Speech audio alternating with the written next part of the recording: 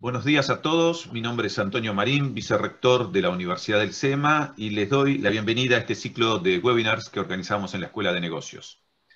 Hoy, pandemia y trabajo, una mirada desde la psicología, los recursos humanos y lo legal, donde analizaremos la respuesta inicial a la pandemia, la vuelta al trabajo y la nueva normalidad, el impacto de estas fases en las organizaciones y en las funciones de recursos humanos también el manejo de las emociones desde la mirada de la neurociencia cognitiva, la importancia en las negociaciones colectivas y el análisis de la nueva ley de teletrabajo sancionada recientemente. Tenemos tres excelentes expositores. Eh, Pablo Maizón, actual Chief de Recursos Humanos del Grupo Pérez Compán, Ignacio Funes de Rioja, que es socio del estudio Funes de Rioja y Asociados, y también profesor de Derecho Laboral en nuestra universidad, y Matías Salvador Bertone, que es doctor en Neurociencia Cognitiva Aplicada. Me, acompaña también eh, Daniel Galiani, que es nuestro director de gestión corporativa de la Escuela de Negocios. Eh, el formato es que cada expositor tendrá entre 15 y 20 minutos para hacer su exposición y el público podrá hacer sus preguntas a través del chat, que las vamos a responder al final de las presentaciones. Eh, quiero agradecer a Daniel Dalconso, que es un poco el gestor de esta charla y que seguramente estará presente en, la conferencia. Ahora sí, Dani, eh, te cedo el espacio. Fabuloso, gracias Antonio, buenos días a todos quienes nos acompañan y naturalmente me sumo el agradecimiento y reconocimiento para con Daniel y sumo a Luis también, que sin ellos la actividad hubiera sido difícil e imposible de gestionar, incluso a la, participación de nuestros expositores. Ahora sí, sin más, permítame presentarles a Pablo. Pablo posee una larga trayectoria en el área de recursos humanos. En el año 1993 ingresó a Unilever, donde desarrolló una extensa carrera en posiciones locales, regionales y globales. Luego de asumir desafíos internacionales con base en San Pablo y Londres, en 2004 ocupó la posición de director de recursos humanos para el negocio de alimentos en Unilever. A partir de 2012 fue nombrado vicepresidente de recursos humanos para Unilever Latinoamérica, región que incluye 20 países y 30.000 empleados desde México hasta la Argentina. Luego de 26 años en Unilever, Pablo se suma al grupo Pérez Companc como director de recursos humanos, como bien mencionaba Antonio, para su holding de empresas que operan en los negocios agropecuarios, de energía y de consumo masivo. Pablo es docente de posgrado en las principales universidades del país y en 2013 editó su primer libro, El trabajo en la posmodernidad. Pablo es licenciado en Relaciones del Trabajo por la Universidad de Buenos Aires y cursó diferentes posgrados en Argentina y en el exterior. Pablo, ahora sí, bienvenido y muchas gracias por tu participación. Bueno, buenos días, muchísimas gracias a, todos por la invitación, un placer estar compartiendo esta mañana con Matías Ignacio y con los colegas del tema. Em, la verdad que es un momento eh, complejo, como todos sabemos, y, en esta complejidad eh, actual poder hablar del trabajo y, el impacto en el mundo del trabajo que tuvo esta pandemia es todavía bastante complejo en el sentido de que creo que sabemos bastante bien lo que pasó hasta acá, pero es difícil también proyectar lo que va a pasar.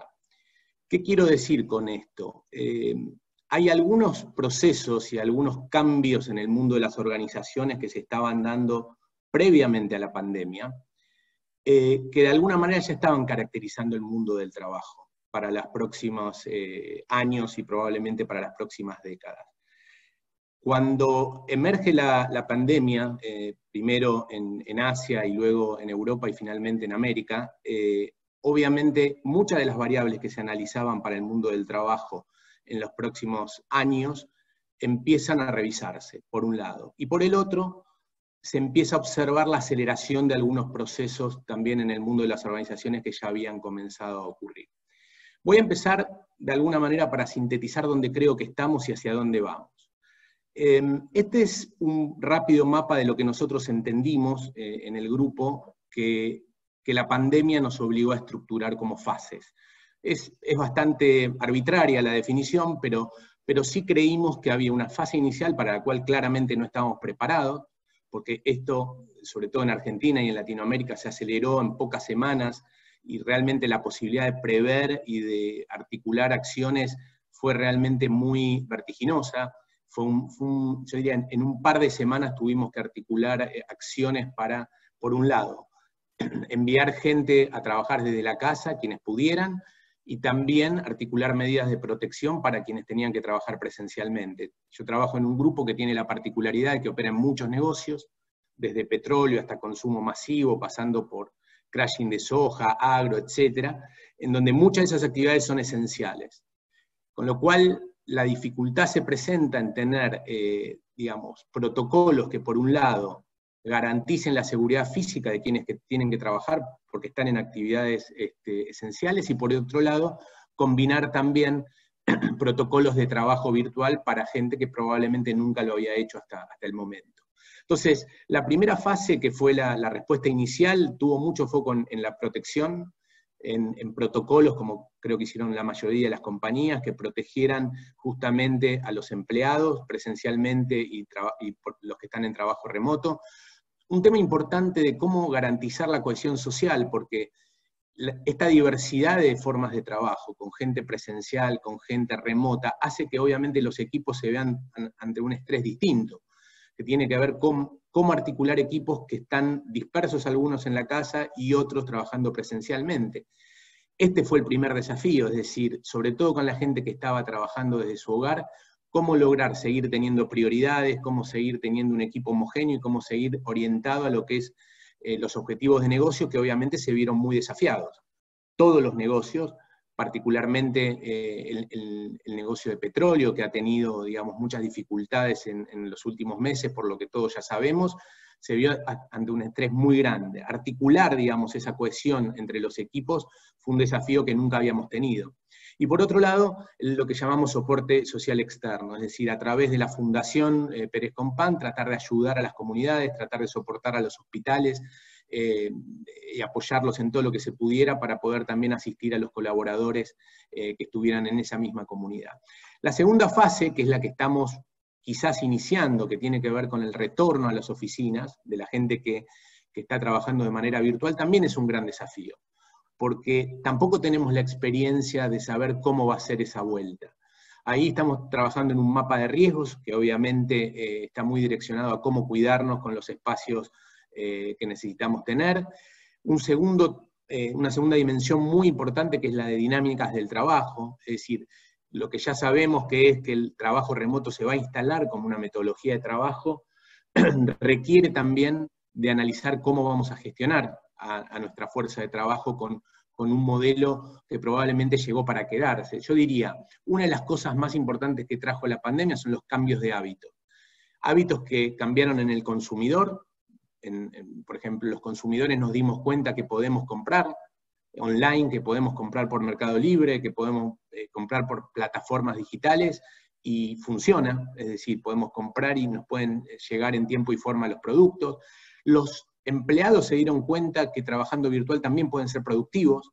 De hecho, nosotros hicimos una, encuesta interna de, lo que se llama estados afectivos, que es entender cómo estaba la gente en este momento trabajando, y, y la verdad que el 90% de la gente contestó que había incrementado su productividad durante la pandemia a partir del trabajo virtual, por un lado. Por el otro lado, si se quiere, la parte o la contracara más oscura del trabajo virtual tuvo que ver con la invasión de los tiempos personales, ¿no?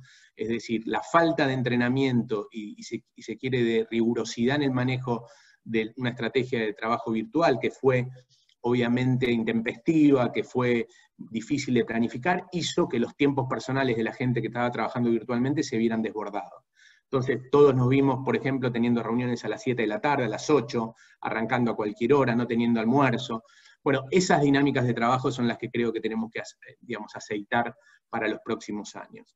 Eh, por otro lado, vamos a un modelo de comunicación y capacitación online cada vez más este, focalizado en, eh, no eh, comunicación presencial, ¿no? en, plataformas digitales. Y por último, lo que nosotros llamamos, está muy de moda llamar la nueva normalidad, que nosotros lo llamamos la, la reinvención y que creo que es finalmente lo que ha traído la pandemia para quedarse, que tiene que ver con la transformación cultural que esto trae a las organizaciones. Es decir, cómo vamos a construir nuevas maneras de relacionarnos, nuevas maneras de engagement, eh, nuevos modelos de trabajo que nos ayuden también a instalar una cultura más ágil, más flexible, con menos niveles de control. Fíjense que una de las cosas que cambió rotundamente la, pandemia y el trabajo virtual fue que es más difícil controlar el proceso de trabajo. Entonces, para jefes tal vez que vienen de generaciones donde el trabajo requería de mucho más control eh, físico o, control de los objetivos, esta pandemia los expuso a un lugar que era, bueno, no podemos controlar, porque cada uno está en su hogar, cada uno, el empowerment y la delegación es casi natural. Entonces, ¿cómo vamos a trabajar en un marco de mucho menos control también y muchos menos procesos rigurosos en las organizaciones? Luego, obviamente, la instalación definitiva de los cambios en la dinámica de trabajo. Y el tercer punto de la fase de reinversión, que para mí es muy, muy relevante y que había comenzado antes de la pandemia, que es la aceleración de la transformación digital. Todas las compañías estamos trabajando desde hace ya bastante en proceso de transformación digital, que es decir, cómo simplificamos los negocios, cómo aceleramos la llegada al consumidor, cómo aceleramos los procesos internos a partir de la transformación digital. Bueno, lo que ocurre eh, con la pandemia es que ha sido un catalizador de ese proceso. Entonces, todas las compañías, o muchas al menos, estamos acelerando ese proceso de transformación digital para reconvertir nuestros procesos. Creo que la pandemia no va a traer algo radicalmente nuevo en muchos sentidos, sí lo que está haciendo es acelerar mucho de los procesos que estábamos este, tratando de desarrollar. Y lo que pensábamos hacer en 10 años probablemente lo hagamos en uno o dos años.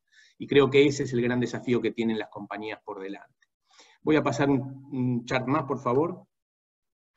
Y en ese contexto es interesante también pensar qué pasó con el área de recursos humanos. Por un lado hay un capítulo que es el de los líderes, que creo que, hay que entender también cómo los líderes pudieron o no acompañar en este proceso a sus equipos. En esta encuesta de, estados afectivos que yo mencionaba, la verdad que los resultados que dieron sobre los líderes son muy positivos. Quizás hay solo eh, una categoría, una dimensión que dio un poco más baja, tanto en el grupo como en el mercado, porque tenemos un benchmark externo, que tiene que ver con la sensibilidad con los estados eh, de ánimos de, los colaboradores. Es decir, yo creo que los, digamos, los líderes han puesto mucho foco en organizar el trabajo, en establecer metas, en establecer prioridades, en gestionar los equipos, lo cual está muy bien, en facilitar las tecnologías para que esto ocurra, y mucho menos, me parece, en conectar con el estado anímico de sus colaboradores. Con esto no es una crítica, digamos, a los líderes y a los jefes, creo que es muy natural porque muy pocos habíamos trabajado en esta cantidad de horas y días de, manera virtual, pero sí cuando uno va, por ejemplo, a este relevamiento de estados afectivos, lo que surge claramente es que hay una demanda de las personas porque sus jefes o sus líderes entiendan el estado anímico que tienen. Y cuando uno hace un deep dive mucho mayor en esa encuesta, va a ver que, por ejemplo, las mujeres que tienen hijos en la casa, los padres que tienen menores a cargo, etcétera, etcétera, que tienen una complejidad muchísimo mayor en los hogares, sienten que esa empatía fue menor aún. Eh, es decir, la complejidad que trajo la pandemia es trabajar en casa, criar niños con chicos que están en edad escolar, que comparten computadora, digamos, hay un fenómeno que se dio en los hogares que probablemente muchos eh, líderes no han, no han podido captar. Es crítico, no, es un aprendizaje y es entender cómo vamos a lidiar con, si se quiere, con este nuevo modelo de trabajo. Ahora, para recursos humanos también hubo, de alguna manera, un desafío muy grande que tuvo que ver con conectar con dos dimensiones, que son las personas y las organizaciones, y la organización. Yo creo que en los últimos años el, área de recursos humanos ha recorrido un camino que es de profesionalización, que es de, tener una gestión mucho más moderna, más profesional, que se focalizó en muchos, eh, eh, en muchos procesos de eh, trabajo en las organizaciones en las cuales establecimos procesos de transformación, de cambio, de modelo de gestión, de manejo del talento, de, es decir, de muchas áreas de profesionalización enfocadas en la mejora de las organizaciones. Ahora, probablemente lo que haya pasado también en los últimos tiempos es que el área de recursos humanos se alejó mucho un poco más de lo que tiene que ver con el contacto humano con las personas. No quiero decir que lo haya olvidado, quiero decir que este proceso de profesionalización quizás hizo tener mucho más foco en todos los procesos de transformación, que en la Argentina obviamente son muy desafiantes por el contexto que tiene, y quizás dejar un poco más eh, relegado lo que tiene que ver con la génesis de, lo que es nuestra función, que es el contacto humano, la escucha y, la contención emocional de, los equipos. Bueno, yo creo que la pandemia nos vino también como función a, de alguna manera, a exigir conectarnos con esos orígenes. ¿Por qué? Bueno, porque necesitamos trabajar en, esta pandemia mucho en términos de organización, por ejemplo, en cómo disponibilizábamos tecnología, cómo manejábamos el tema de los viajes, eh, cómo revisábamos la estrategia de negocio, manejábamos los costos, es decir, todo el capítulo de organización requirió de mucho esfuerzo y foco, pero a la vez nos encontramos con un fenómeno, eh, si se quiere, psicológico y sociológico que enfrentaba a las personas a dificultades muchísimo mayores de las que imaginábamos, que son el miedo, la ansiedad, los problemas, digamos, de balancear, como decía antes, la vida personal y el trabajo, mucha angustia de parte de las personas por la incertidumbre de lo que vendrá, con lo cual ese proceso, digamos, de, de impacto afectivo y emocional requirió que también el área de recursos humanos reconectara desde ese lugar y contuviera. No solo contuviera individualmente a las personas y las escuchara, sino ayudara a los líderes a conectar, que creo que es el gran capítulo que, tenemos que trabajar de ahora en adelante, porque no estamos imaginando que la normalidad va a volver a las empresas y a las oficinas dentro de un mes o dentro de dos o tres.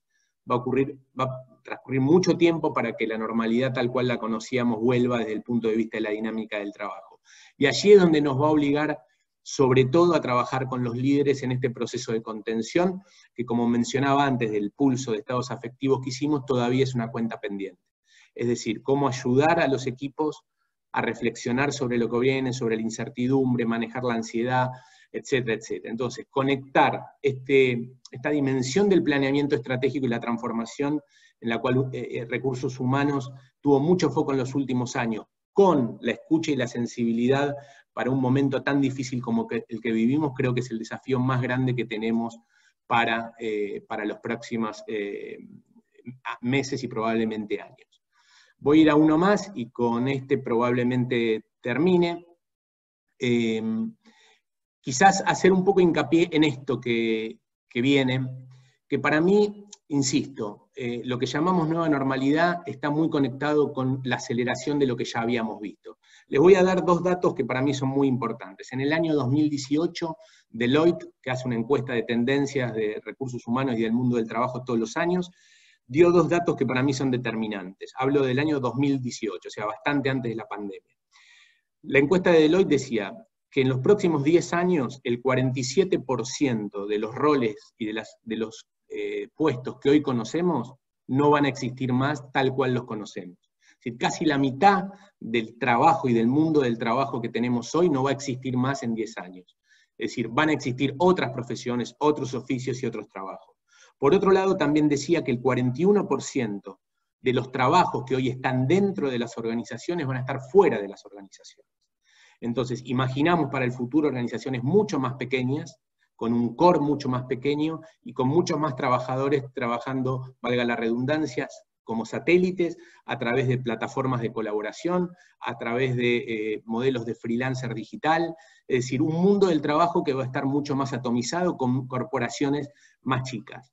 Bueno, este fenómeno que estábamos hablando de reconversión de puestos por, el impacto digital y de externalización de trabajo y de funciones, creo que con la pandemia se ve acelerada. Eh, lo dije antes, cultura, dinámicas de trabajo y aceleración de la transformación digital. Eh, relaciones virtuales, lo mencioné, nueva experiencia empleado, cómo creamos un nuevo modelo y sobre todo cómo vamos a conectar en este mundo futuro con mucho más trabajo fuera de las organizaciones, con nuevos puestos, con nuevos desafíos, cómo vamos a, lograr conectar todo ese ecosistema laboral que va a ser absolutamente distinto a lo que conocemos hoy. Creo que ese va a ser un gran desafío para los años que vienen, tanto para los líderes como para recursos humanos. Muchas gracias. Perfecto, Pablo. Perfecto, muchísimas gracias, muy interesante la, la, exposición que nos deja muchos puntos para retomar al momento de consulta. Muy, claro y, muy jugoso. Ahora sí, eh, permítanme presentarles al doctor Matías Bertone. Matías es psicólogo, especialista en neuropsicología clínica, especialista también en psicología jurídica y forense. Es magistra en neurociencias y biología del comportamiento y doctor en neurociencias cognitiva aplicada. Es director académico del Consejo de Neurociencia Cognitiva Aplicada del Centro Internacional de Formación para Autoridades y Líderes del Instituto de las Naciones Unidas para Formación Profesional e Investigaciones, UNITAR. Es presidente del Buró Internacional de Neurociencia Cognitiva Aplicada, VINCA, y director de N Consultoras. Matías, bienvenidos y muchas gracias por tu participación. Bueno, muchas gracias Daniel, gracias a la Universidad del SEMA y me sumo también al, agradecimiento a Daniel Dalconso, este gran gestor de todo este proyecto. voy a retomar algunas cosas de las que dijo Pablo, ¿no es cierto? Porque es interesante qué, es lo que está pasando con la empatía en este momento, ¿no es cierto? Los medios virtuales logran eh, compensar algunas cosas, pero no todas. Y el tema que yo quiero traer en estos próximos minutos es eh, cuáles son las secuelas que ya están apareciendo y las que se esperan que aparezcan desde el punto de vista psicológico y, psiquiátrico también. Y en realidad eh, esta eh, pandemia en nuestro país ocurre, como ocurre en, el resto de los países también, en un contexto y en un momento determinado. Nuestro país tiene una extensa eh, costumbre, ¿no es cierto?, una extensa cultura del uso de las licencias laborales y eh, leyes que también avalan o amparan y en algunos casos hasta estimulan, ¿no es cierto?, este, este uso y este abuso de las licencias laborales. Entonces, creo que las dos cosas son reales, están apareciendo eh, reacciones emocionales eh, y psicológicas que son desadaptativas en gran parte de la población, y también es real que otra parte de la población está haciendo uso de esta situación como para eh, hacer un uso indebido de estas eh, indicaciones de reposo laboral. Dicho esto, cuáles son los, dos temas que quiero tratar, voy a empezar hablando de cuál es el efecto de eh, estas situaciones de estrés prolongado en el ser humano, que por más que no se haya estudiado el burnout, sí se estudia el efecto del estrés prolongado en los seres humanos, para después sí meterme en los, instrumentos o los protocolos que existen de, de evaluación de diferenciación de las patologías reales y las simuladas. ¿sí? El famoso síndrome de burnout, que es un síndrome que hace varias décadas que se viene estudiando, pero recién fue reconocido por la Organización Mundial de la Salud en su última manual de diagnóstico de los trastornos mentales, que es la CI-11, eh, que lo llamó síndrome de eh, desgaste laboral, es el nombre que le puso la OMS, es un síndrome de estrés particular que está muy vinculado al desgaste eh, en el trabajo, al estrés provocado por el trabajo. Y tiene tres parámetros de evaluación, la baja realización personal, el agotamiento emocional y la despersonalización. Significa que este síndrome de desgaste laboral eh, se, se materializa, se expresa conductualmente con estos tres parámetros. La baja realización personal está vinculada a el no cumplimiento de las expectativas que yo tenía para el trabajo que estoy haciendo. Que puede ocurrir, por ejemplo, hoy, hablando de esta situación de pandemia, al personal médico que se formó para, ayudar y para sentirse útil y está viendo que no tiene recursos, que no está pudiendo dar la ayuda que, tenía, que, tenía puesta como expectativa. El agotamiento emocional nosotros lo vemos en las personas, lo voy a decir eh, claro y conciso, en estas personas que trabajan a reglamento. ¿No es cierto? Cumplen, pero no, no, se enganchan con el trabajo, no se comprometen. Hacen lo, menos posible, ¿sí? Y tratan de cumplir y eh, eh, están como en un estado de desmotivación con el trabajo, de desenamoramiento, con, el, con la actividad que realizan. Y la despersonalización es el tercer parámetro para evaluar este síndrome de, de burnout, que tiene que ver con esta frialdad emocional, la falta de empatía y la cosificación del otro. ¿sí? Ocurre muchas veces en las personas que atienden, eh, que tienen tareas de atención al público, de atención al cliente, ¿no es cierto? Que empiezan como a maltratar o a destratar a los clientes, y es un mecanismo de defensa que tienen las personas de separarse del estrés del otro, ¿no es cierto? Una persona le está haciendo una demanda, estoy diciendo las personas que atienden al público, pero puede ser un, director de recursos humanos, ¿no es cierto? También puede estar quemado y la gente que le va a hacer una, alguna consulta, alguna demanda, uno se distancia emocionalmente y lo empieza a tratar como si fuese un objeto. Este síndrome de burnout que, eh, que existe desde que existe el trabajo, calculo, se ve eh, aumentado, exacerbado o estimulado por esta situación de pandemia y ahora voy a explicar o tratar de explicar los mecanismos neurocognitivos por los cuales esto ocurre. Siguiente, por favor. Aunque parezca complicado, no es tan complicado, ¿no es cierto? Si uno ve la imagen de la izquierda y empieza a ver qué es la vía frontolímbica, qué es el lóbulo frontal, cuáles son las estructuras del sistema límbico, cuál es la acción de la amígdala, se mete como en cosas de neuroanatomía que pueden llegar a parecer complicadas, pero si uno mira la imagen de la derecha, es eso lo que nos ocurre. Nuestro cerebro tiene un área de regulación de la conducta y de las emociones, eh, no tiene un área, tiene varios circuitos, pero varios de esos circuitos están localizados en la corteza frontal, en la parte de adelante y atrás de la frente.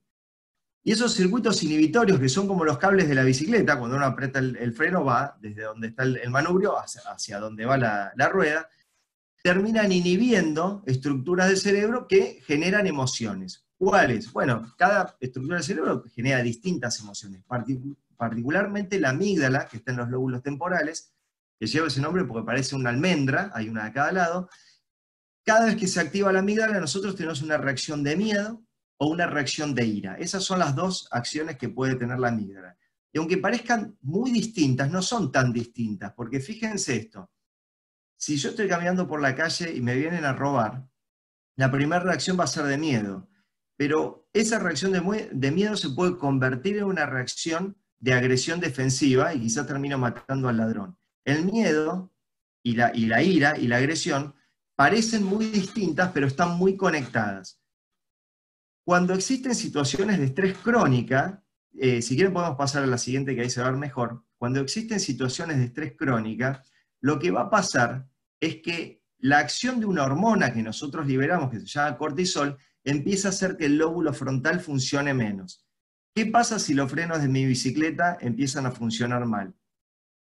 Posiblemente la bicicleta vaya más rápido. Bueno, cuando el lóbulo frontal empieza a funcionar mal, que lamentablemente se ven en algunos casos de traumatismo cráneoencefálico, cuando una persona se cae de la moto y se golpea, que dicen son pacientes frontalizados, cuando empieza a funcionar mal el área de la regulación de las emociones y de la conducta, esas dos emociones, el miedo y la agresividad, eh, disminuyen su, su umbral, ¿no es cierto? Empiezan a aparecer más.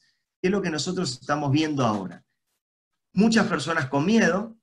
¿Miedo a qué? Miedo a contagiarse, miedo a contagiar a la familia, miedo a la situación económica. Quizás alguien está trabajando en, una, empresa que, sigue trabajando y que su facturación está bien o aumentó su facturación, pero el, esposo es peluquero. Entonces hay, distintos tipos de temores que vienen eh, eh, vinculados directa o indirectamente a la situación de pandemia, directa o indirectamente. Entonces estamos viendo mucha más gente con miedo, un aumento en los trastornos de, ansiedad, un dato del Colegio Farmacéutico de la Ciudad de Buenos Aires, aumentó un 60% la venta de psicofármacos. Aumentó un 60% en la Argentina la, la venta de psicofármacos. Entonces, es real que hay un aumento de estas situaciones de ansiedad y algunos cuadros psicopatológicos vinculados a la ansiedad. Aumento de los síntomas obsesivos compulsivos, personas que tienen un temor irracional al contagio, ataques de pánico y crisis de, ansiedad con agorafobia, gente que eh, le, le, estaba costando salir de la casa y lo que está pasando con el aislamiento es que estamos perdiendo los mecanismos de regulación del miedo de salir. Entonces es un problema porque en un tratamiento para una persona que tiene ataques de pánico con agorafobia, la primera indicación terapéutica es que salga de la casa, que salga acompañado, que salga a la puerta, que salga donde quiera. Pero nosotros estamos perdiendo hoy la capacidad terapéutica de, hacer algunas intervenciones que tienen que ver con la desensibilización, porque está literalmente prohibido salir a hacer actividades. Entonces, ahí hay un problema grave. Pasamos a la siguiente diapositiva. La acción del cortisol en la corteza frontal es un problema porque hace que funcione menos. Nuestros cuerpos han evolucionado, nuestros cerebros, cuando yo hablo de cuerpo, hablo de cuerpo y cerebro, evolucionaron para que el estrés tenga una respuesta física. porque nosotros eh, no nos estresábamos por las cuentas, por, eh, eh, por los impuestos, por las situaciones políticas. Nosotros nos estresábamos cuando un animal nos iba a comer. Entonces el cuerpo reacciona, la reacción natural del cuerpo es una reacción física, acompañada de la liberación de adrenalina y noradrenalina para tener fuerza, y nunca estuvo pensada la reacción de estrés para que nuestro cerebro esté con una en mejor claridad mental, sino al revés, para que el lóbulo frontal se desconecte y quede libre la reacción más instintiva, y, las repito, ¿cuáles son? La agresión, o sea, si algo me, va a matar, me mido, ¿no es cierto? Si lo puedo matar, lo mato, y si no lo puedo eh, matar, corro y huyo. Y esas son las reacciones que quedan al descubierto en las situaciones de estrés crónica. Esto ya está estudiado, por ejemplo, en, personas que han sido, eh, que, han participado de, combates y de guerras y de, algunas situaciones bélicas. Cuando regresan y se estudia el cerebro de esas personas, hay alteraciones funcionales del lóbulo frontal y en algunos casos hasta lesiones anatómicas por la acción del cortisol. Pasamos a la siguiente diapositiva, que me parece que es bastante bastante gráfica, vuelvo a decir lo mismo, no importan los, nombres y todo eso, pues al que le gusta la, la neuroanatomía, pero esa, esa almendra que tenemos en el cerebro, esa amígdala, tiene distintos núcleos, algunos regulan el miedo, otros regulan la agresión, y cuando el área del cerebro que baja su capacidad eh, funcional para inhibir, empiezan a aparecer estas reacciones. Y engancho algo con lo que decía, con lo que recién mencionó Pablo, que tiene que ver con la, empatía y con los estresores. ¿Cuáles son los estresores? ¿no es? Yo no estoy diciendo que la gente se estresa por una situación de pandemia y punto, porque nunca una, una eh, consecuencia se puede medir solo por la causa, porque en realidad los seres humanos tenemos muchos mecanismos de afrontarnos al estrés. Entonces, hay algunos que transitan la pandemia sin estresarse y hay otros que transitan la pandemia generando un trastorno psiquiátrico. ¿sí? Entonces, ¿cuáles son los, eh, estos, estos estresores nuevos que han aparecido? Punto número uno, lo que decía Pablo, el trabajo fuera de horario. La gente no estaba acostumbrada, entonces tiene que aprender un mecanismo nuevo de cómo regular el, el horario. Otra cosa, nosotros podemos hacer cosas absolutamente complejas, pero si las hacemos varias veces, se almacenan en una memoria que se llama memoria procedural y lo hacemos fácil. A nosotros nos genera mucho estrés aprender cosas nuevas. Entonces, a pesar de que no sean complejas las plataformas de trabajo digital, muchas personas se han tenido que ver obligadas a, a trabajar con herramientas nuevas que antes no trabajaban. La división entre las actividades personales y laborales es otra cosa que genera estrés, porque uno puede estar en la, conferencia y el, el, nene queriendo que uno le prenda la tele para ver los dibujitos, entonces empieza a aparecer esta mezcla. Y hay una cosa interesante que tiene que ver que, con esta palabra que también mencionó Pablo, que tiene que ver con la empatía. Nosotros tenemos gran parte de nuestro cerebro eh, reservado a lo que se llaman los circuitos de cognición social hay un, área del cerebro reservada para que nosotros reconozcamos las emociones a través de la expresión eh, facial, del tono de voz, que se llama la, prosodia, pero sobre todo de la mirada. Entonces yo ahora estoy mirando a, mi presentación y a la gente, y no estoy mirando la cámara, y si miro la cámara, igual no veo los ojos de otra persona. Y los mecanismos de empatía están cambiando a tal nivel, a tal nivel, que empezaron a desarrollar pruebas neurocognitivas de reconocimiento de emociones con personas utilizando barbijo, en estado eh, eh, de, prueba piloto, pero está empezando a pasar porque ustedes no saben lo difícil que es, si nos muestran 50, 50 caras de actores expresando emociones, no saben lo difícil que es reconocerlas con el, con el barbijo. Entonces va a haber un, un, cambio también en la forma de relacionarnos y es muchísimo más difícil ser empático con otra persona a través de estos medios que en el contacto humano. Siguiente para pasar en los últimos dos minutos a, la otra parte del tema que quería decir es, hay una cantidad de gente con problemas de ansiedad reales causados por estos mecanismos que yo acabo de explicar, y hay muchas personas que están aprovechando esta situación como para flexibilizarse en el trabajo y trabajar menos. ¿Qué pueden aparecer? Dos tipos de situaciones. La simulación de una enfermedad mental y el engaño. Estas son dos entidades distintas que se evalúan de forma distinta. La simulación se evalúa a través de los instrumentos y los mecanismos que yo voy a explicar en los próximos dos minutos. y el engaño es otra cosa. ¿Cuál es la diferencia entre la simulación y el engaño? La simulación es esta. Presento una licencia laboral y cuando me llevan al, control yo digo, bueno, yo soy Matías Bertone, tengo ataques de pánico, no puedo salir de mi casa y cada vez que abro la puerta tengo una crisis y me vuelvo a meter. Si eso no me está pasando, esa es la simulación de una enfermedad mental. ¿sí? La otra cosa que puede pasar es que yo no esté simulando un cuadro de enfermedad mental, pero que engañe, que diga, yo soy Matías Bertone, tengo dos hijos y eh, mi mujer es enfermera y trabaja en una clínica, entonces los chicos no se pueden quedar con nadie, con lo cual yo me quedo en casa. Si mi mujer no es enfermera y no se va todos los días, yo lo que estoy haciendo es engañar, no estoy simulando, no estoy eh, generando, inventando un rol. Lo que estoy haciendo es decir una cosa que no es cierta. Eso se evalúa con información corroborable, por ejemplo, una de las consultoras que hace esto es la, consultora de Daniel, por eso terminamos en algún momento todos chocándonos un poco el trabajo, y eh, la forma de evaluación de simulación es estos mecanismos que yo voy a explicar eh, a continuación. Siguiente. Bien, vamos a pasar todo.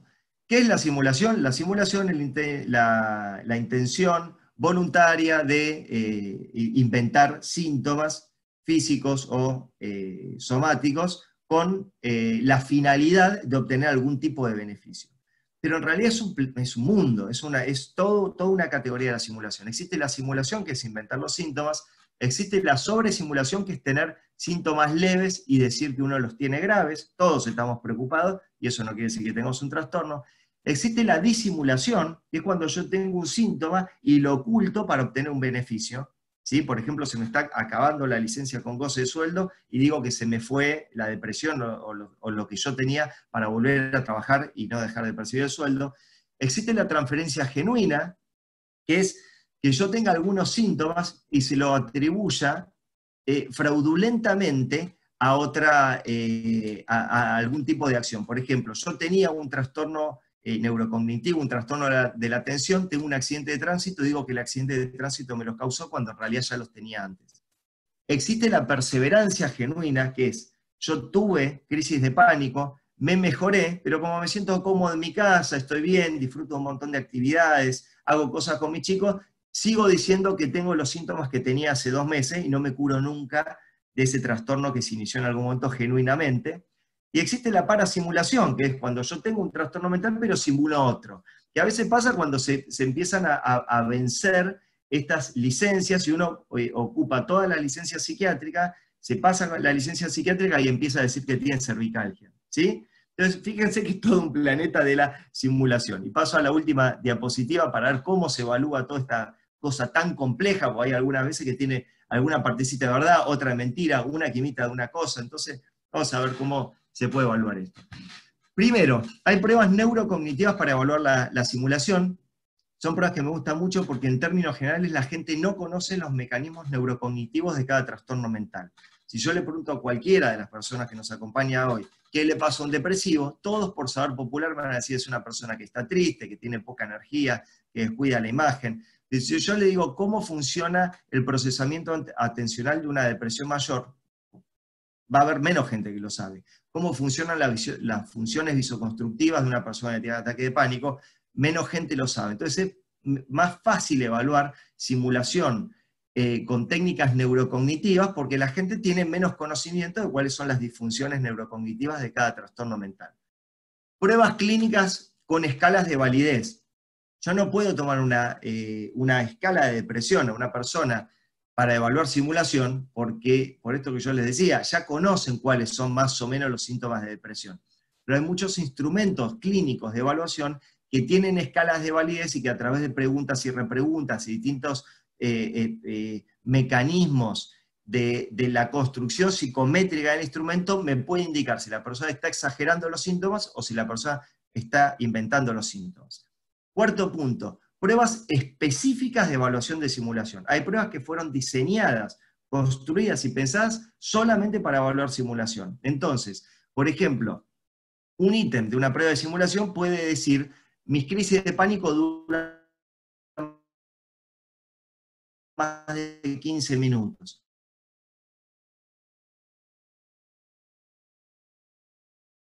Las crisis de pánico duran cerca de 5 minutos. Mi depresión se va por las que están más deprimidas a la mañana. Entonces, todos los ítems de una prueba específica de simulación apuntan a tratar de evaluar si la persona está exagerando o está inventando un síntoma. Y por último, y con esto cierro, las entrevistas clínicas con expertos forenses, las evaluaciones de las licencias laborales de personas que están en una condición eh, de, que pueden obtener un beneficio, porque es el, el, principio de la simulación, que yo esté inventando algo para obtener algún tipo de beneficio, no puede quedar solo en manos de personas con experiencia clínica, tienen que tener experiencia en el área pericial, tienen que saber utilizar ciertos instrumentos que sirven para la evaluación de simulación para poder separar, después de algunas cosas técnicas que dije, termino en una cosa mucho más sencilla, para poder separar peras de manzanas en el caso del, Estado, para que pueda eh, el Estado utilizar los recursos públicos en las personas que lo requieren, y el caso de las empresas lo mismo, ¿no es cierto?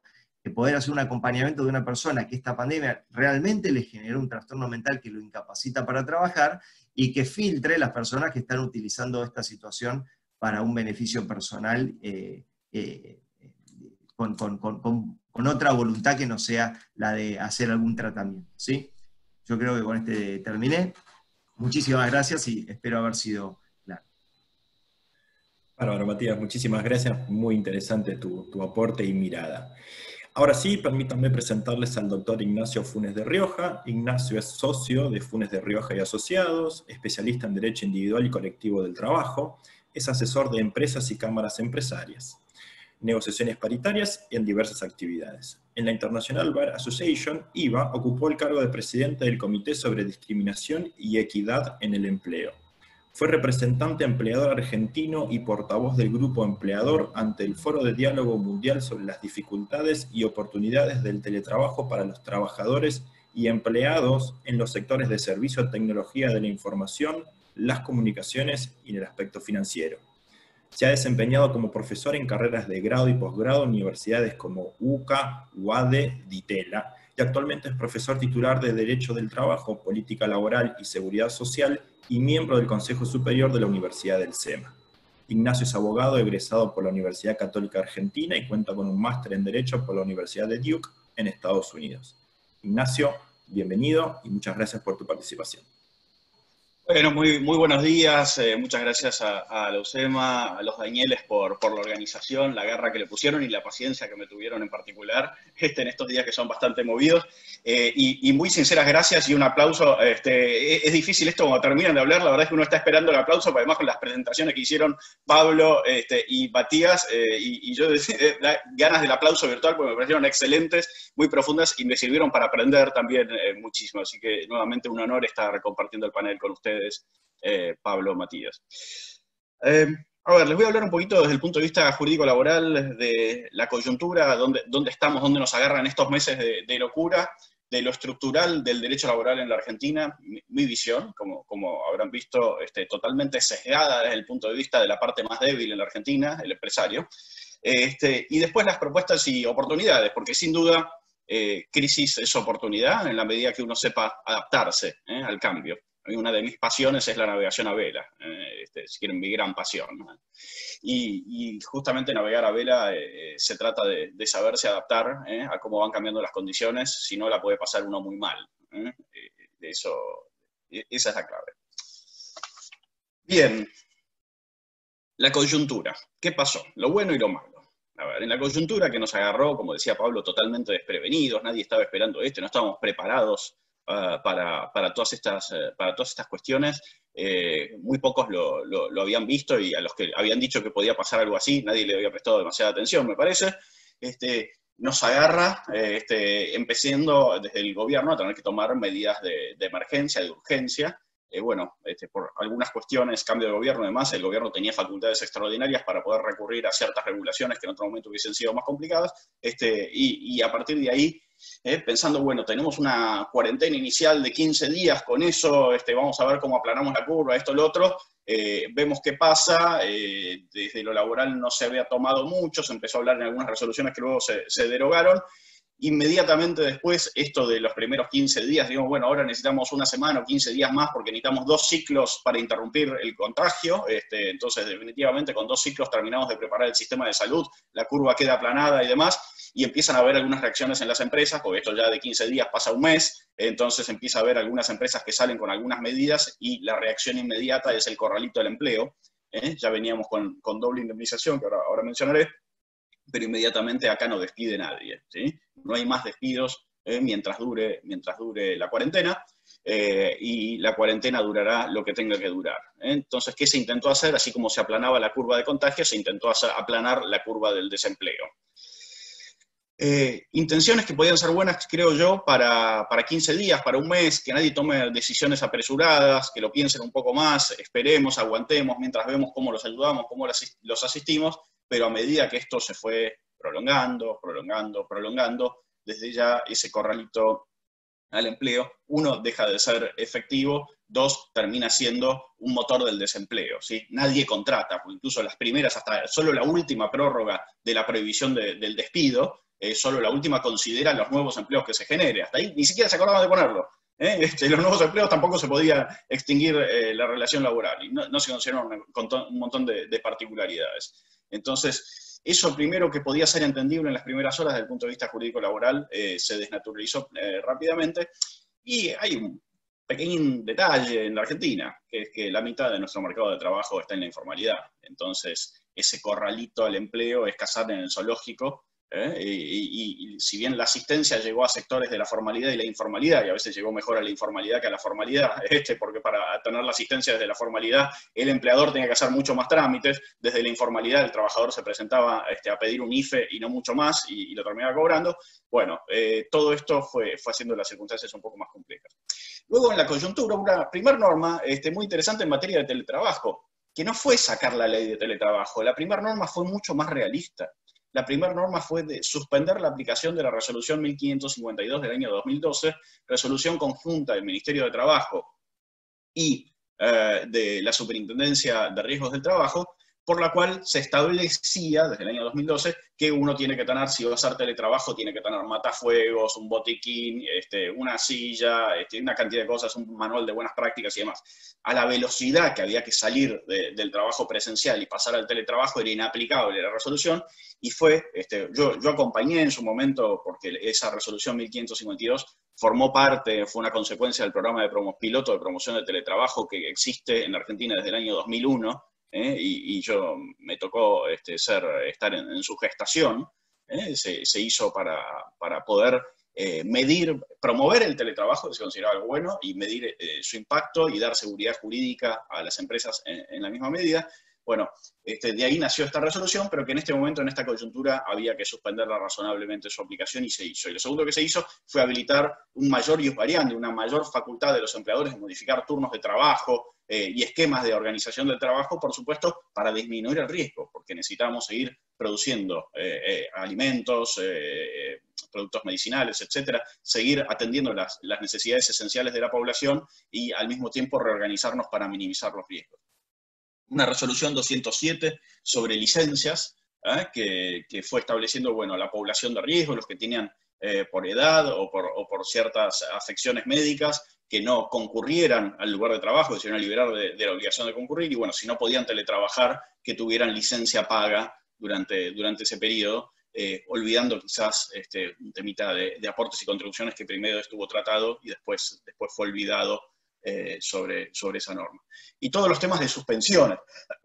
los gremios rápidamente eh, se pusieron, a mi criterio, a la altura de las circunstancias, a salir a negociar, ¿eh? porque más allá de que hubiera prohibición de, despidos, más allá de que hubiera prohibición de suspensiones unilaterales con este corralito del empleo, entendían que había algo que había adaptar. Ahora la vara se puso muy alta quizás era razonable donde se puso la vara al 75% del salario neto durante los primeros meses, cuánto podía aguantar el empleador y, a, a quienes le llegaba eh, a, través del ATP la ayuda en los empleadores, a quienes les llegaba eh, y en qué proporción con esto bajaban, eh, bajaban el daño que se producía por estar pagando a quienes no están en condiciones de trabajar y cuando tampoco es gente que está necesariamente enferma, este, demás, y es una proporción muy superior a lo que puede ser un ausentismo por cuestiones médicas habituales. Bueno, todo esto fue comprimiendo cada vez más la situación de los empleadores eh, y, por supuesto, cuando toda esta compresión eh, empieza a aumentar y se, y se empieza a prolongar, empieza a haber consecuencias. Uno puede hacer lo que quiera, como dice algún, algún buen economista, lo que no puede evitar son las consecuencias. Entonces empezaron a haber consecuencias y se empezaron a afectar. Obviamente la informalidad reacciona rápido, los cuentapropistas, por supuesto, este, vieron, vieron su impacto rápidamente y el mundo del empleo terminó recibiendo el impacto de esta crisis y empezaron a ver gente que renunciaba a cambio de una gratificación, gente que terminaba aceptando eh, retiros voluntarios, gente que, fue eh, teniendo, viéndose obligada este, probablemente a, tomar determinadas opciones, viendo que eh, se cae el empleador. Porque ¿qué hacemos con todo esto? Le cargamos un costo que se va prolongando, prolongando, prolongando el tiempo y habrá empresas que tienen espalda y se la pueden aguantar, pero si caminamos las calles de, Buenos Aires, a mí por mi trabajo me toca ir bastante, este, vemos cuántos negocios ya no están con la persiana baja esperando que pase la cuarentena para volver a, trabajar, sino que hoy en algunos casos pudieron volver a trabajar, han decidido ¿eh? o, no han podido volver, volver a hacer. Y por último, en esta coyuntura, bueno, empezamos a pensar todos en qué va a pasar con, con la vuelta o qué está pasando en algunos casos con la vuelta. La gente este, que, que, tiene miedo, eh, que, no quiere, que no, quiere, no quiere volver, que tiene pánico, que tiene este, los chicos, eh, por supuesto, que no vuelven al colegio y de los que se tiene que hacer cargo. Eh, la gente que quiere volver, dice, este, el empleador no habilita todavía, este, no puede o no quiere habilitar todavía el espacio físico, y la gente que quiere ir a, trabajar eh, al lugar físico porque no se adaptó a trabajar en su casa, porque no está cómodo, eh, porque extraña sociabilizar o, o, lo que fuere. y lo que se nos está dando cada vez más de los casos en donde no se puede volver igual, porque no puede trabajar físicamente la misma cantidad, porque no hay el mismo trabajo, porque cayó la demanda, eh, porque por distintas, eh, distintas circunstancias las cosas, por ahora por lo menos, no, son, no son lo mismo y, hay que adaptarse.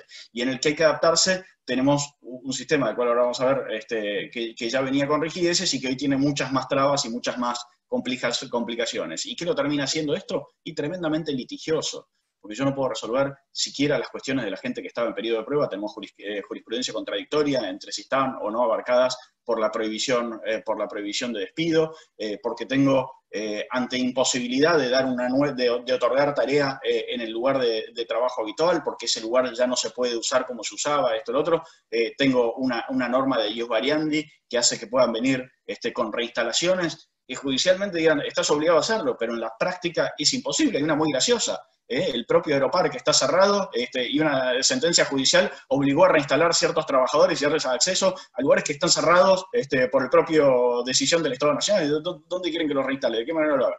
Bueno, hay cosas, eh, cuestiones muy, muy contradictorias y que lamentablemente, lamentablemente, tienden cada vez más a llevarnos a, soluciones eh, litigiosas.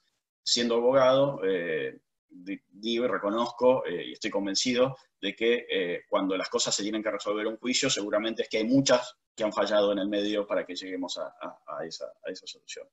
Y las que van a venir, las que van a venir en materia de discriminación. Eh, sale una, resolución eh, antes de ayer, publicada, donde habla de si se pueden o no se pueden pedir, los empleadores tienen facultad para pedir los exámenes COVID. Bueno, yo no voy a decir con quiénes, pero lo he, relevado con, gente que está en la toma de decisiones y este, demás, y nadie entiende bien qué se quiso decir y para qué se sacó esa norma. Ahora, este, ¿qué pretende? Eh, evitar la discriminación, fantástico, había que escribirlo claramente. ¿Quién se hace cargo del test de COVID para que la gente vuelva al lugar de trabajo? Bueno, había que escribirlo. Ahora, otra vez, normas que no terminan de decir lo que quieren decir o, no se escriben claramente y lo que generan es incertidumbre, inseguridad, en un momento en donde justamente de lo poco que podemos dar es seguridad en algunas pocas cosas, ya que todo el mundo es una gran, eh, una gran incertidumbre. Bueno, en las pocas cosas que hagamos tenemos que tratar de dar mínima seguridad para quien eh, está expuesto a este ambiente del mundo de los negocios eh, tan complicado y, tiene que tomar responsabilidad sobre la gente. Bueno, solo, solo digamos, se han tomado algunas medidas que fueron sin duda positivas, pero lamentablemente se han tomado algunas otras que han sido negativas. Y en, esas negativas en el Congreso esto, eh, y por, ahí lo que digo es políticamente incorrecto, pero lo que, pasó en el Congreso no tiene nada que ver con lo que venía pasando en el Ministerio de Trabajo desde el año 2001 hasta la fecha. 2001 no, perdón, 2002 hasta la fecha. Nada que ver con lo que pasó en el Ministerio de Trabajo en materia de, teletrabajo. Eh, eh, lo que pasó en el Congreso en materia de teletrabajo. Parece que hubiesen descubierto el teletrabajo ahora. Señores, el, teletrabajo existe desde la década del 70 y en la Argentina se viene promoviendo y regulando por soft law, pero con mucho éxito, mucho éxito, eh, desde principios de este siglo. ¿eh? Y, quisieron, se llamó, no, bueno, pero se escuchó a los empleadores. No se tomó una sola recomendación ¿eh? de la ronda de discusiones con los empleadores y se terminaron generando cuestiones hiper litigiosas, hiper complicadas y destruyendo, desmotivando a, las compañías a implementar el teletrabajo que tiene cuestiones positivas por donde se lo mire, mucho más allá de la pandemia. No es un tema de la pandemia el teletrabajo. Pero bueno, no me quiero irritar. este, Matías me va a analizar y me va a decir por qué el óvulo este, del cerebro pasa, eh, pasa la emoción. Eh, ahora sí, vamos a, lo estructural. ¿eh? Si quieren podemos pasar un modelo, un modelo laboral desgastado, desgastado, quizás en condiciones de retirarse, Alguno puede decir un modelo laboral que fracasó. Que fracasó porque, miren, eh, después de, haber escrito este, algunas cuantas ideas, eh, justo anoche veía a alguien que lo citaba Miguel Ángel Broda eh, en un informe que hizo desde el año 74 a la fecha, la pobreza ha crecido en promedio al 7% por año y el PBI per cápita en la Argentina ha crecido promedio 0,2% por año en algo estamos fallando. Si de mediados de la década del 70, tal vez le suene, 74 al 76, se generaron no solo la ley de contrato de trabajo, eh, que rige el modelo laboral, sino la mayoría de los convenios colectivos de trabajo que rigen a la mayoría de los empleados en blanco en la Argentina hoy. Pero fíjense cómo este proceso histórico implica, si la ley fue buena, bueno, el mundo ha cambiado mucho. Y si, la, si fue buena, Ahora, tal vez será buena en algún momento eh, y, después eh, tiene algo que ver, no será la principal responsable, la ley no genera empleo, pero la, ley puede impedir que se cree. ¿eh? Y, quizás tiene alguna responsabilidad en que solo haya crecido en la Argentina el empleo público y el empleo informal y que el empleo privado lleve, la Argentina rebota, vuelve, rebota, vuelve, pero no se desarrolla. ¿Dónde está? ¿Y por qué si agarramos la legislación argentina tenemos más leyes que ningún otro país. Es imposible casi tener un compendio de leyes completo. Los invito a buscar los compendios que están publicados de las grandes editoriales. Todas se olvidan de alguna de las leyes que están vigentes en la Argentina. Un sistema legislativo absolutamente rígido, ¿sí? Es muy difícil adaptarse, variar, adaptarse al cambio de circunstancias. ¿eh? Te lleva a la muerte. Es más fácil destruir una empresa que adaptarla a las nuevas circunstancias un sistema totalmente litigioso. Es un gran, gran, gran promovedor, promovedor de juicios, de litigios, de pleitos laborales. ¿sí? Hay muchos abogados ¿eh? que, podemos trabajar gracias al sistema litigioso, pero los abogados también nos la podemos rebuscar para trabajar ¿eh? de, otra manera y no solo generando, no solo viviendo ¿eh? de los conflictos masivos, podemos vivir de los conflictos más complejos y más delicados y las situaciones que ameriten, y no que todo tenga que resolverse en un juicio. Y también existen los métodos alternativos de resolución de conflictos que en la Argentina no terminan de, ser, de ser adoptados, luego hay algún comentario un sistema exclusivo. ¿Por qué, Ignacio, decís que es un sistema exclusivo? Y porque es un sistema para pocos. ¿eh? Los que están en, la jaula, ¿eh? los, pocos que están en la formalidad, eh, en el empleo privado. Para el resto es o te vas al sector público o dependes de un subsidio o estás en la informalidad. Es un sistema que cada vez se ha vuelto más, más exclusivo. Un sistema tremendamente costoso. Eh, Ignacio, los salarios en la Argentina son altos, no son altos. Bien, los costos laborales indirectos en la Argentina son fenomenales. Mientras el mundo avanza en la inteligencia artificial, en la inteligencia asistida, en la robotización, esto, lo otro, nosotros seguimos poniéndole impuestos, impuestos, impuestos al trabajo y costos laborales indirectos este, como aportes y, contribuciones que no van necesariamente al sistema de seguridad social. Este, muchos de ellos se desvían por, por, otros caminos este, y tienen algunos fines específicos, pero en definitiva le seguimos cargando al que genera empleo, le seguimos cargando con el costo no solo del salario de empleado, sino el costo del bienestar del resto de la sociedad. Por cada empleado que tenemos en la Argentina, en muchas jurisdicciones provinciales, por cada empleado registrado en el sector privado, tenemos un empleado público. Y si esta cuenta la llevamos a por cuántos empleados tenemos beneficiarios del Estado, que cobran cheque del Estado, como dicen últimamente los, economistas, la ecuación es, todo, es muchísimo peor no resiste. Estamos matando al sector privado y especialmente al que genera empleo. ¿Qué estamos haciendo? Promoviendo el desempleo. Cuando yo estudiaba Derecho Laboral, eh, Hugo Carcavalo era mi, profesor y él cuando citaba la ley de empleo, la 24.013 de, principios de la década del 90, hablaba de la ley de desempleo. Eh. Carcavalo tenía un gran sentido, sentido del humor.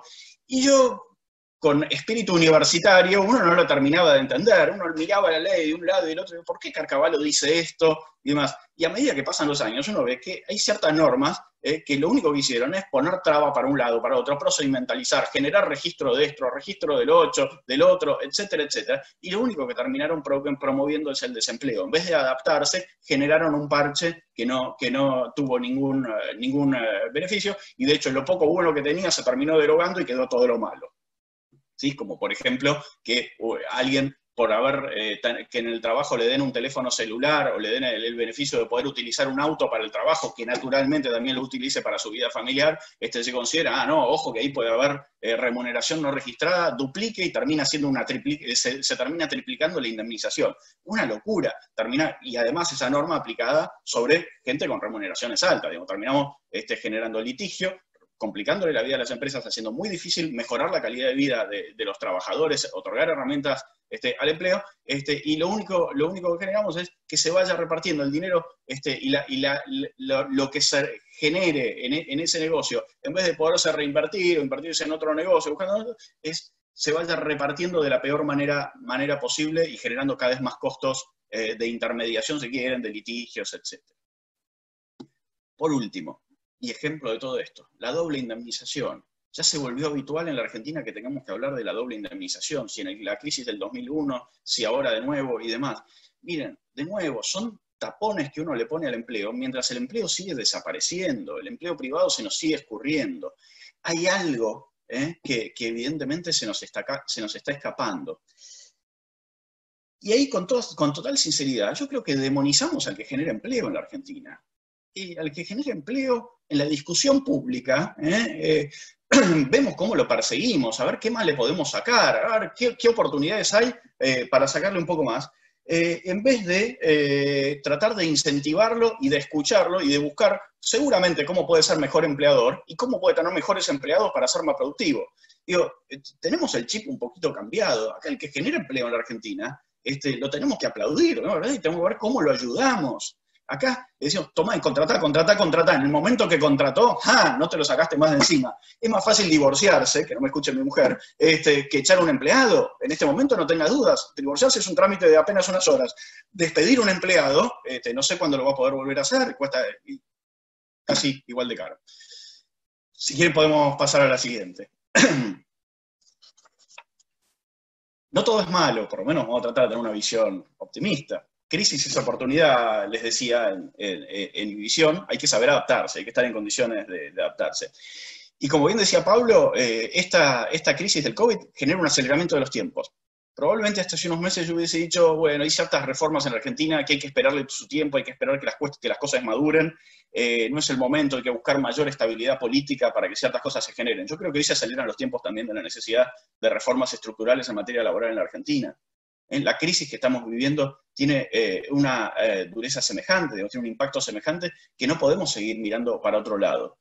Como les decía, tenemos que promover el empleo privado registrado, tenemos que hacer lo posible, no podemos mentirnos más diciendo que tenemos leyes maravillosas que protegen a todo el mundo cuando no protegen a, nadie y dejan afuera a, medio mundo desde el punto de vista laboral. Eh, como les decía, el PIB per cápita en la Argentina no crece y la Argentina eh, no se desarrolla. La Argentina no se está desarrollando. Tiene momentos de depresión y momentos de rebote y de crecimiento. Desarrollo, ¿qué es el desarrollo? ¿Qué entiendo yo por desarrollo? Que tengamos una mejor calidad de vida, que los habitantes de la Argentina digan qué buen país para vivir, que la gente siga viniendo a la Argentina a buscar oportunidades, que la Argentina atraiga eh, migración en busca eh, de, oportunidades para vivir mejor. Tres minutos, meto papa. eso para mí es el desarrollo, el y, eso creo que lo hemos perdido y, lo vemos eh, que hay cada vez más gente, eh, lamentablemente, y no, no, estoy hablando ahora ya de, algo de coyuntural, digo, cada vez más gente que ha pasado muchos años y que va diciendo, bueno, las reales oportunidades, este ya no es el país de las oportunidades que supo, que supo ser. Si no somos más productivos, si no somos más competitivos, no vamos a generar divisas por valor agregado, sea por exportación, o no vamos a poder sustituir eh, importaciones, o estamos condenando una economía cerrada donde los consumidores argentinos tengan que pagar las cosas por lo que no valen, ¿sí? tengan que bancarse las ineficiencias ¿eh? de, algunos sectores. Entonces tenemos que pensar que la Argentina tiene un solo destino, porque países cerrados no resisten, no hay país cerrado que se haya enriquecido, solo hay países cerrados que se han empobrecido. Entonces, para poder competir tenemos que mirar nuestra realidad y mirarnos en el espejo realmente y no en el espejismo que queremos ser o de lo que quisimos ser o de lo que supimos ser, sino en el espejismo de lo que somos y asumir la realidad de que eh, tenemos que cambiar ciertas cosas que no son lo que creíamos que eran seguimos peleando, como les decía, por distribuir pobreza más que por generar riqueza, tenemos que cambiar ese chip y creo que podemos hacerlo. ¿Por qué creo que podemos hacerlo? Porque soy ferviente creyente de la, de la negociación colectiva. Me ha tocado estar en OIT y que digamos, eh, la Argentina negocia 800, 900 convenios colectivos por año. Mentira, porque lo único que hacemos es actualizar salarios. Pero sí tenemos gran experiencia en negociación colectiva. Nos conocemos con los interlocutores sindicales y sabemos cómo negociar. Y eso nos genera una gran oportunidad. Lo que hay que hacer es sacarle el candado a la caja de herramientas ¿Qué implica eso? Empezar a capacitar a la gente, reentrenarla, entender que todos nos estamos capacitando y nos tenemos que estar capacitando permanentemente en un mundo de cambio, que nada está asegurado en materia de eh, puesto de trabajo. Yo no me puedo atornillar más al puesto de trabajo, tengo que garantizar mi, empleabilidad. Y ahí los sindicatos tienen un nuevo rol que asumir, ¿eh? en ese diálogo con la gente y en ese ayudar a entrenarlos y tienen los recursos para hacerlo. Desregular y descentralizar, dejar de ponerle trabas a todo para poner la regulación justa y permitir que haya eh, posibilidad de pasar a una formalización real de la economía, no seguir con parches eh, que solo promueven la, informalidad. Descentralizar, habilitar esa negociación. No puede decir que tenemos leyes tan rígidas que no pueden ser eh, modificadas por convenio colectivo de actividad, convenios de actividad tan rígidos que no pueden ser modificados por convenio de menor, de menor ámbito. ¿sí? No es lo mismo una empresa que funcione en el Chaco, que una empresa que funcione en La Rioja, que una empresa en Tierra del Fuego, que una empresa, una empresa en Buenos Aires o una empresa en Rosario. ¿Eh? Tenemos que permitir que se descentralice y que se negocie. podemos descentralizar el nivel eh, de negociación, ¿sí? aún, ¿eh? y, los instrumentos negociales, habilitando a negociar lo que hay que negociar, sin necesidad de romper el modelo sindical y de habilitar sindicatos de empresa, que es otra discusión que va más allá. Pero lo principal es habilitemos que se pueda negociar para salvar empresas, porque hoy es prácticamente imposible poder adaptar las condiciones de trabajo de, empresas en ciertas regiones que por tener mayores costos logísticos o estar lejos de los puertos o lo que fuere, se hacen totalmente inviables. Entonces tenemos que habilitar esa negociación definitivamente, reducir costos laborales indirectos, bajar los, impuestos al trabajo, todo eso donde el empleador se termina haciendo cargo ¿eh? de, cuestiones que no le competen ¿eh? y, o pagando aportes extraordinarios por cuestiones que no le competen, ¿eh? etcétera, haciendo cargo del déficit de salud que se genere, por ejemplo, en las obras sociales, por tener que asumir las obras sociales sindicales los monotributistas. Al trabajador, al, habitante, al ciudadano hay que protegerlo, pero tenemos que ver dónde distribuimos la carga de esa protección. ¿sí? Si los empleadores tienen que hacer aportes extraordinarios para sostener ya no solo la salud de sus propios empleados, sino las del resto de la población, tenemos un problema, no va a haber empleador que resista en la Argentina. Tenemos que proteger al trabajador, sí, el puesto de trabajo hay que dejar que se adapte, que las cosas fluyan y eh, eh, analizar juntos qué modelo de país y qué modelo productivo queremos, pero en definitiva dejar que las cosas pasen, porque si no seguimos eh, abrazados al pasado. último tema, prometo, Daniel, bajar la conflictividad. Eh, ¿En qué consiste esto? Miren, en temas colectivos, nosotros hoy la única forma que tenemos, si no nos ponemos de acuerdo, es para resolver los conflictos, es hacernos daño. A ver quién aguanta más, quién lastima más al otro. Eso es un gran problema. No, existe hoy en el mundo, si queremos defender a la Argentina y el modelo productivo de la Argentina, argentino, que los conflictos los, los, tengamos que resolver viendo quién aguanta más o quién lastima más al otro. Tenemos que ir un paso adelante. En el mundo, ¿cómo se hace esto? Arbitraje. No es ninguna ciencia. A ver, las cuestiones cuando son legales, cuando, eh, cuando son conflictos eh, jurídicos, las puede resolver un juez perfectamente. Cuando es una cuestión de conflictos de intereses, hay muchas cuestiones que se pueden resolver a través de un arbitraje y no es necesario eh, estar lastimándonos. tema de servicios esenciales. En la Argentina yo no tengo dudas que la educación, por ejemplo, es un tema esencial. La Argentina no puede darse el lujo de perder días de clase. Hoy, este año no lo hemos tenido, pero hemos tenido años de muchísima eh, pérdida de días de clase. Y así muchísimas otras actividades. ¿eh? Si hablamos de soberanía alimentaria, hay una cantidad de cuestiones en temas de, alimentación eh, que deben ser declaradas servicios esenciales donde no nos podemos hacer daño, en temas de transporte, hay, hay, mecanismos para hacerlo, para incorporar actividades esenciales, para que dejemos de hacernos daño y vayamos incorporando métodos alternativos de resolución de los conflictos, en donde nadie pierda, pero sí podamos mirar para adelante y construir una Argentina con más oportunidades. Gracias. Buenísimo, Ignacio, muchísimas gracias por tu presentación. Estamos viendo, al igual que a Matías y Pablo, por supuesto, estamos viendo muchísimas preguntas, mucho interés. Em, voy a hacerle una pregunta que le traslado, que la hizo Rosana, y me gustaría conocer la, opinión y la posición de Pablo y Matías con esta pregunta. Eh, ¿Cómo hacemos para contener a la gente que trabaja bajo presión por el trabajo, casa, hijos y trabajo? ellos son sensibles e irritables. Me gustaría tener la, vista de, Pablo como líder y como referente de recursos humanos y también de Matías. ¿Cómo lidiamos con nuestro entorno hoy eh, trabajando desde casa, con nuestros hijos y nuestro trabajo? Adelante, Matías, si querés. Bueno, el, abordaje es el, mismo que en cualquier eh, eh, protocolo de, administración de salud, ¿no es cierto? Los eventos no, no, son traumáticos, sino que son traumatogénicos, tienen, tienen potencialidad de hacernos daño, pero no, no siempre eso ocurre. Entonces, ¿cómo abordar estos casos? Lo primero que hay que hacer es eh, ver cuál es la necesidad. O sea, no, vamos, desde mi opinión, eh, y, varias empresas me decían, me hacían esta misma pregunta, ¿cómo hacemos para, para contener a los trabajadores? Primero ver eh, ¿quién, de, quién de, tus, de tus asociados, de tus colaboradores, tienen la necesidad de que alguien los asista, los contenga o, haga algo? Porque hay personas que no, como lo veníamos diciendo. Hay algunas personas que esta situación, con sus propios recursos personales, la, llevan bien y no, no, requieren nada. Y después hacer una, forma que también viene copiado del, modelo médico, tratar de hacerlo menos invasivo.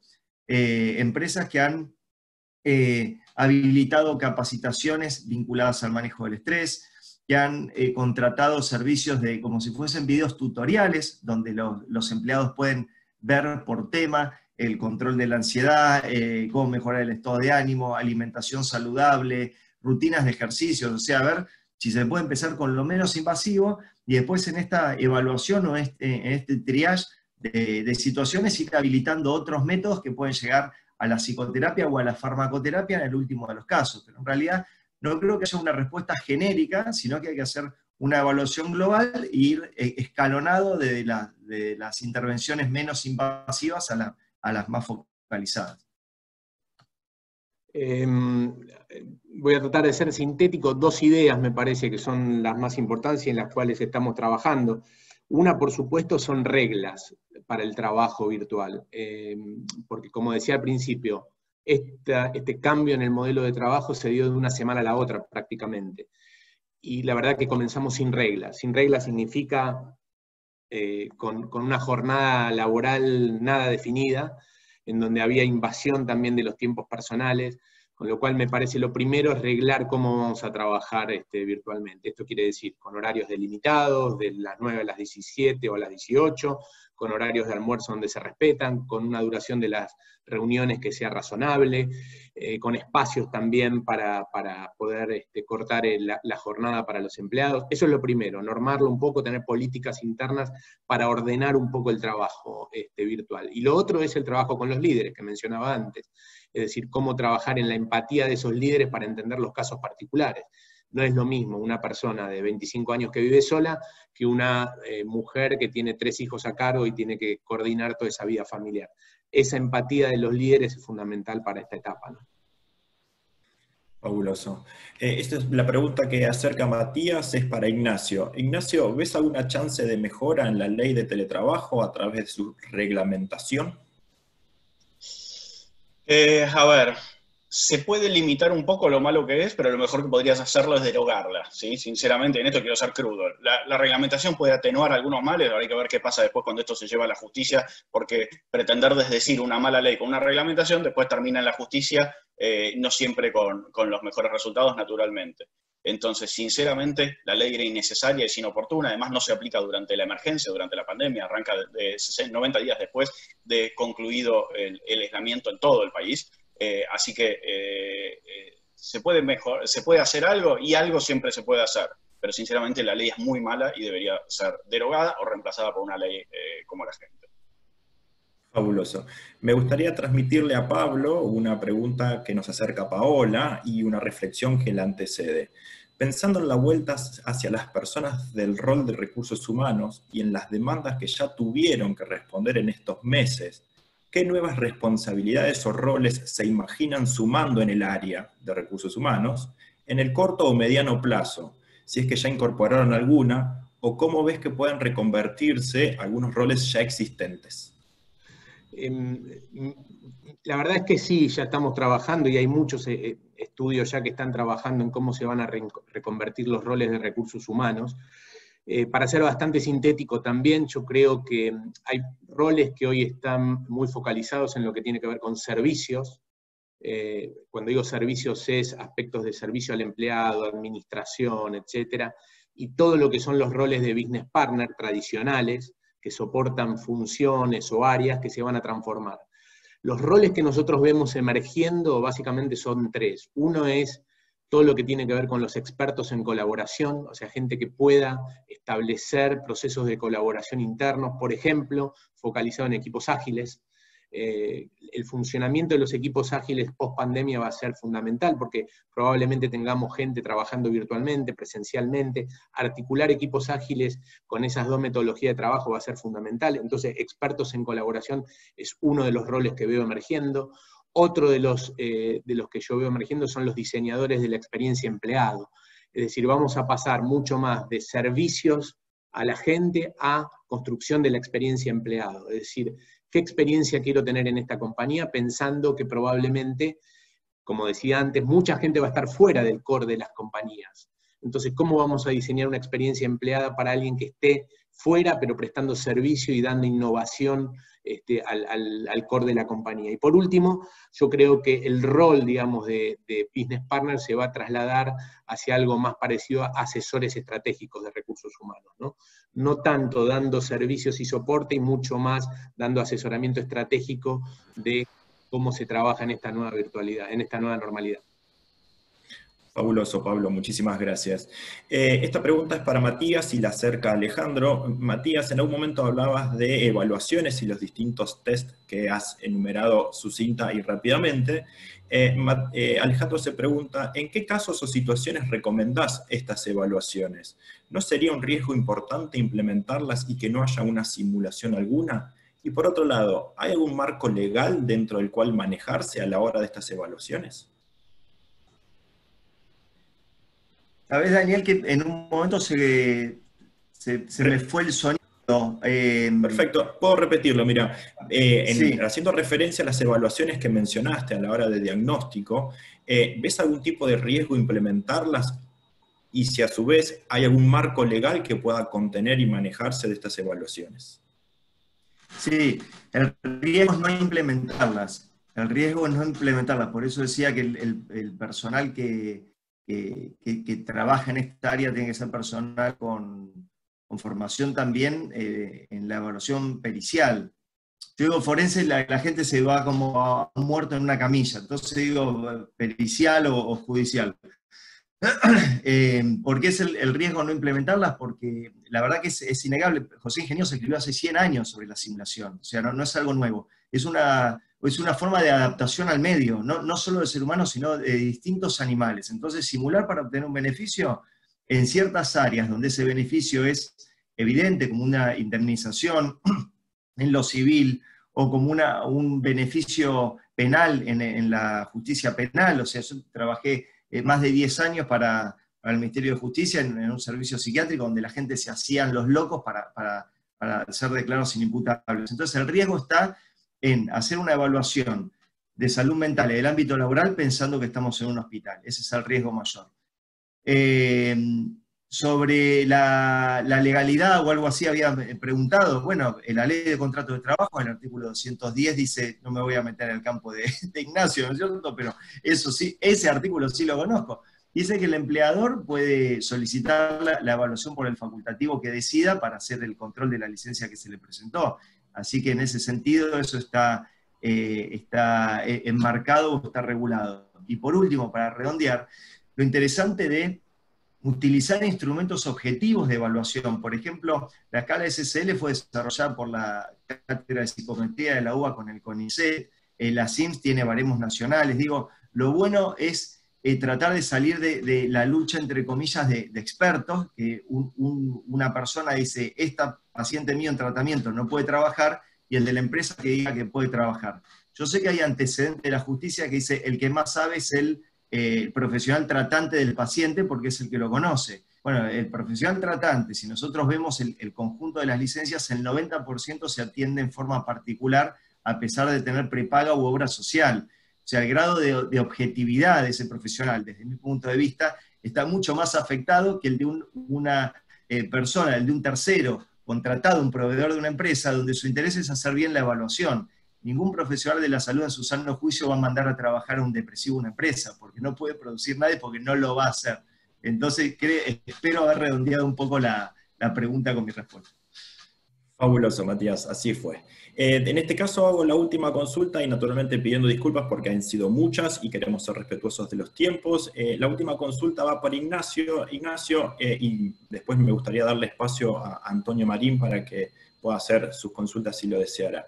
Ignacio, en función de la información que manejas o tus sensaciones, ¿ves que se va a mantener la doble indemnización y la imposibilidad de despido para lo que ves en este corto plazo, septiembre, diciembre, el último trimestre del año? ¿Qué ves? ¿Qué olfateas? ¿Cómo lo venís viendo? Bien, arranco del deber ser. La previsión de despidos creo que no se debería mantener eh, más allá. Creo que ya hoy es muy cuestionable su constitucionalidad. Está muy, muy al límite y, creo que del lado de afuera, con lo cual eh, creo que no debería pasar de la fecha de vencimiento ahora que tiene a fin de septiembre. Eh, ¿Qué puede llegar a, ocurrir? no, creo, no creo que, que, nadie tenga la respuesta hoy, ni siquiera entre los que tienen que tomar la decisión.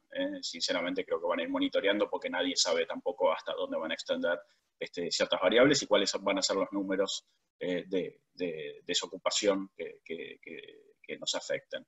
Así que no, no, no, me gustaría aventurar algo donde realmente creo que no debería y creo que además a, medida que la sigan extendiendo, eh, los planteos de inconstitucionalidad, que al principio a nadie se le ocurría hacerlo, este, van a ser cada vez más fuertes.